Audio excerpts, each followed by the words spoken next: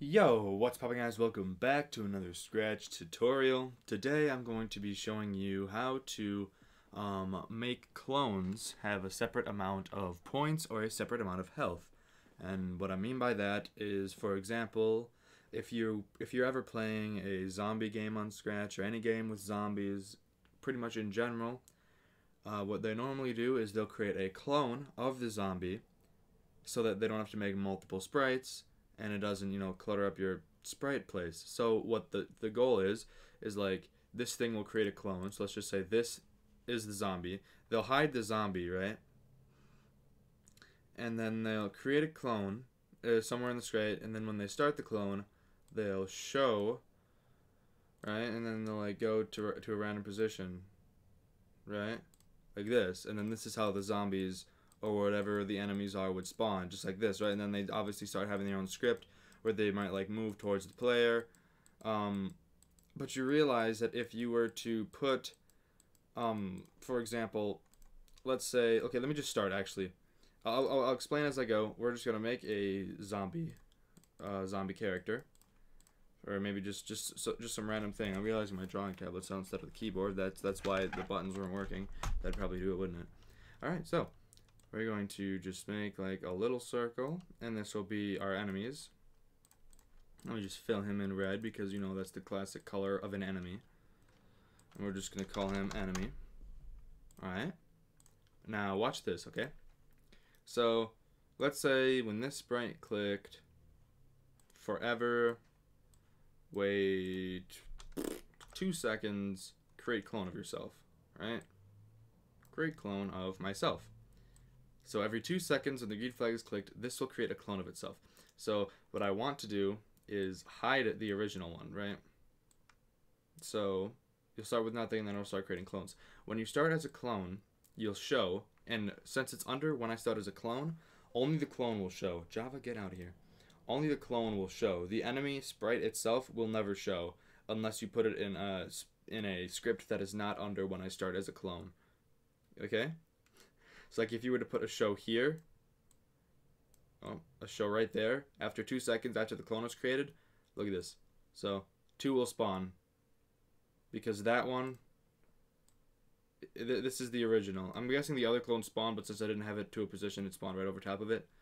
But yeah, so it spawned both of them. Here, I'll, I'll do this just so I can show for an example. Now, boom. Alright. There it puts two. One of these is the clone. I'm guessing this is the clone and then that's the original one because I can move this one around. I mean, I can move these other ones around, but this one is the original because when I hit start, or I don't know where the original one is. Oh, it's because I keep hitting that. It's that one. okay, I hit the green flag instead of the uh, stop. All right, so now we understand how hiding of a sprite and and a sprite's clone works. Now, let's say we have a game where uh, there's health, right? The enemies have health. So you realize if you make a sprite called enemy health, right? And then under here you go, when I set as a clone, forever, if, and you you set up something so that when this thing is clicked, touching mouse pointer and mouse down, which is the equivalent to having your mouse over the thing and then clicking it. Um, so it's the same thing as when the sprite clicked, but we're not clicking the sprite, we're clicking the clone. So if you want to click a clone, it's, it's that. So then you'll change health. So let's say when, when you start as a clone, you'll set the health to 3. It takes 3 clicks to kill the enemy, right?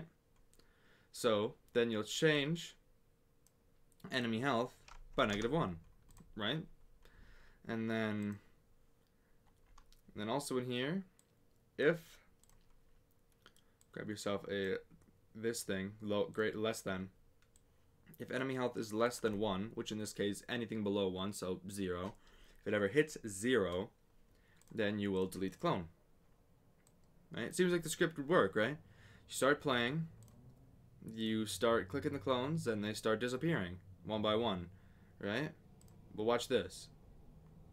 So one pops in, pretty easy, right? I'm realizing I need to add a little bit of a wait time in there. So you can't just, so like, you can't just hold down the mouse. Oh my goodness. Let's do like a 0.5 wait time between each click.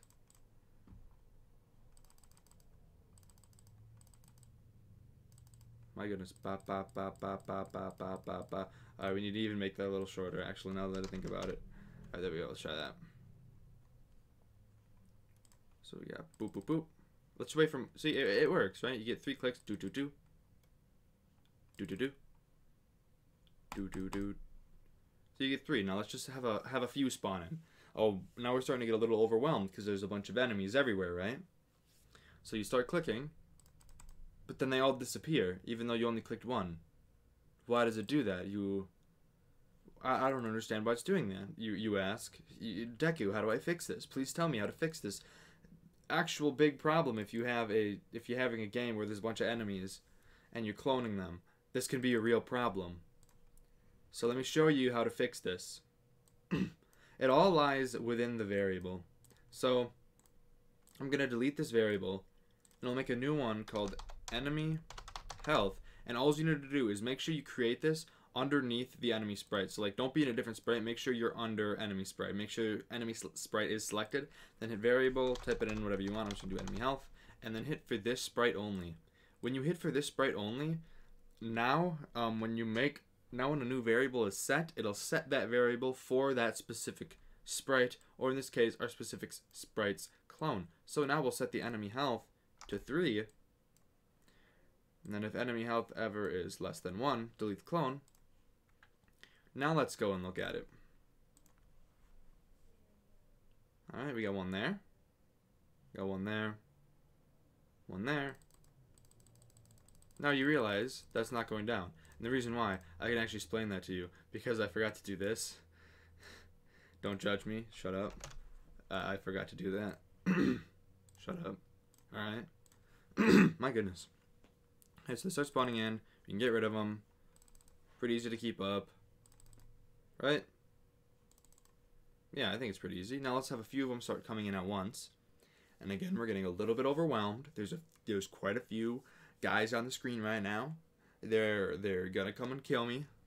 Pretty good. So you click one, and now look. Now that you've done that with the variable, now you have to click in each individual sprite. The reason that one did that is because they were overlapping each other. My mouse was on both of them at the same time.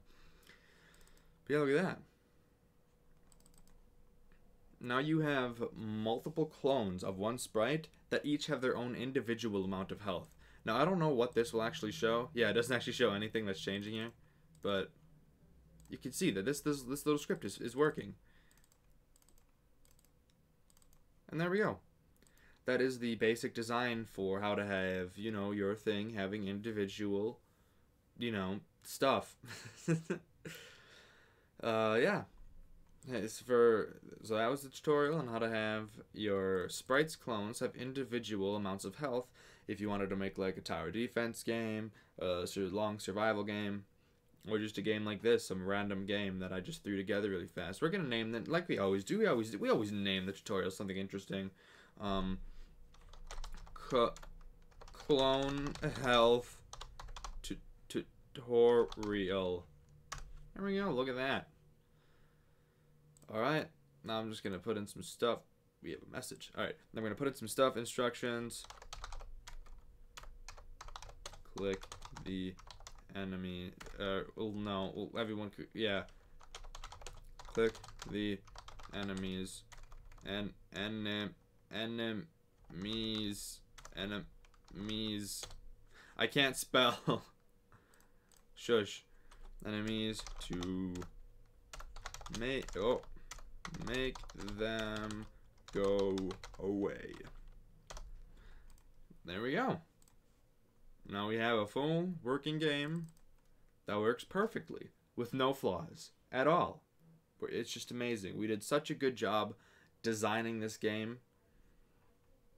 I congratulate you guys. I, I truly do congratulate you. You, did, you guys did such a good job.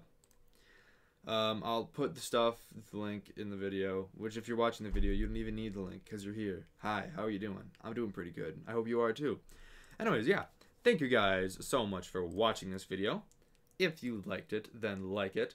If you didn't like it, like it anyways because um because we have these. Uh, if you didn't watch the scratch announcement video, go watch it. I'll explain in more detail a little bit. Uh, but I have this thing, DK Universe's tutorial dump. Put your tutorials in there. Put your YouTube link to the video where you did the tutorial, or if you didn't, just put your tutorials in here and put like some comments in the script and stuff, so that other people can watch more tutorials that aren't just mine. Don't put other people's tutorials in there. That's a scummy move. Don't do that. Um, and then there's another one right over here. You see uh, called Game Requests in on the DK Minigame account. That's where you put your games. Put your games that you really want to see me play. I'll play three of them every Monday. And yeah, post just one a week, just because I don't want to get flooded. But yeah, uh, thank you guys so much for watching, and I'll you know see you in the next one. Peace. I said peace. Didn't end the video like a doofus.